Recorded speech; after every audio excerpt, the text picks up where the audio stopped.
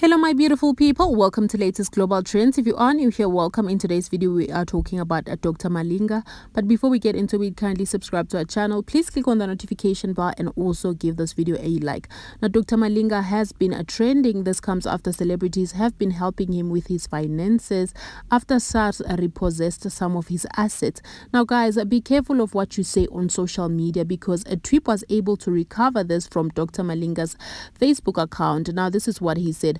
Now that you are sober and probably broke, literally in debt, and the only thing that you are able to pay is attention, I can now safely say Happy New Year. If you need help with transport money, school fees, stationery uniform, and even rent money, please SMS Agulalegi Maune Mali to 3 13 14 now he tweeted this on the 2nd of january 2017 guys and people have been saying so much regarding this but you know what one thing is when you are at the top you feel like there's nothing that could probably go wrong for you. And of course dr malinga likes making people laugh. I'm sure it wasn't that deep.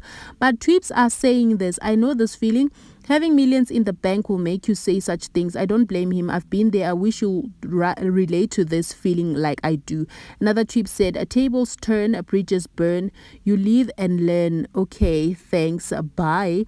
Another one said, um, "Age life will humble you. Indeed, it it will sometimes." And then uh, this one tweet said, "Age the streets never forget. Life is so unfair." I so guys, you know what? I just feel like you know he likes making people laugh love. Honestly, I'm not defending him. But yeah, guys, just be careful on what you say on social media because it will come back to you. What do you guys think? Please do drop your comments. Thank you for watching. Don't forget to like, subscribe. See you guys in the next one.